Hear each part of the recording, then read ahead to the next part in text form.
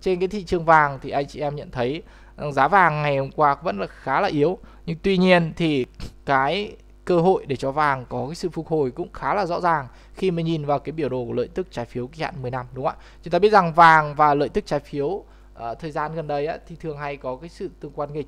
Chúng ta có thể nhìn thấy rất là rõ trên cái biểu đồ uh, lúc này của biểu đồ vàng và cái uh, lợi tức trái phiếu kỳ hạn 10 năm của Mỹ. Đấy, anh chị em có thể compare vào đây, nhìn trên cái time frame ngắn thôi, ví dụ như là H1 chúng ta cũng sẽ nhận thấy cái điều này. Bỏ cái scale đi nha thì chúng ta sẽ nhận thấy cái sự tương quan ngược rất là rõ đúng không ạ? Trong cái thời kỳ mà à, cái lợi tức có cái xu hướng đi lên đúng không ạ? Thì vàng cũng có cái xu hướng đi xuống. Trong cái thời kỳ mà lợi tức à, vàng đi xuống thì cũng là cái lúc mà lợi tức đang pullback phục hồi. Đấy chúng ta nhận thấy là vàng à lợi tức đi lên vàng có cái xu hướng đi xuống đúng không ạ? Cho nên là cái câu hỏi mấu chốt bây giờ đó là gì ạ? Lợi tức có thật sự rớt xuống hay là không? Nếu lợi tức thật sự có cái xu hướng có thể rớt xuống như trên cái biểu đồ H4 đang thể hiện này thì à, điều đó sẽ rất là hứa hẹn cho cái thị trường vàng có thể sẽ uh, quay trở lại cái đà phục hồi nha chúng ta nhận thấy là lợi tức đang phản ứng tại cái vùng kháng cự 4.0 khá là rõ rồi. Bỏ cái percent thì sẽ nhìn thấy đây là cái con số 4.0 round number rất là rõ. Đấy Tất nhiên, ngay lúc này thì chúng ta chưa có tín hiệu đến mua lên nào cả. Cũng không loại trừ một cái kịch bản đó là gì ạ?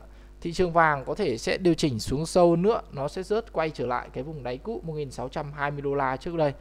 Đây, anh chị em có nhận thấy rằng là cái vùng này là cái vùng hỗ trợ 1620 đô la một ounce rất là cứng. Thành ra chúng ta cũng không loại trừ thị trường vàng thật sự rớt xuống đến 1620 đô la, sau đó mới xuất hiện các cái tín hiệu đến mua lên tại đây. Thí dụ như pin 3 thí dụ như là bullish engulfing tại đây thì nếu như mà cái kịch bản nó xảy ra thì chúng ta sẽ chờ đợi.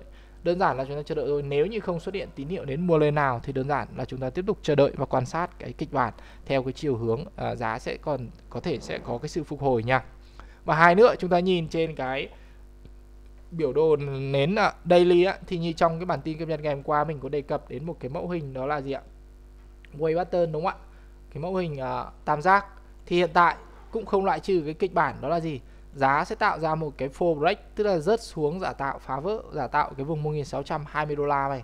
Sau đó mới thật sự bật trở lại theo cái chiều hướng tăng trưởng nha. Đây là những cái bẫy giá, những cái mô hình trap những cái bẫy giá của các cái nhà tạo lập thị trường họ tạo ra. Thành ra chúng ta cũng không loại trừ cái kịch bản đó. Tất nhiên cái phương châm của chúng ta là check what you see, tức là chúng ta sẽ giao dịch theo những cái thứ mà chúng ta nhìn thấy. Những cái thứ chúng ta nhìn thấy và mong chờ nhìn thấy, ta chúng ta nên kế hoạch, chờ đợi cho giá xuất hiện những cái tín hiệu như là chúng ta mong chờ thì chúng ta chỉ hành động theo thôi. Còn nếu như không có xuất hiện những cái tín hiệu đó thì đơn giản là chúng ta tiếp tục quan sát thị trường và chờ đợi những cái cơ hội tiếp theo.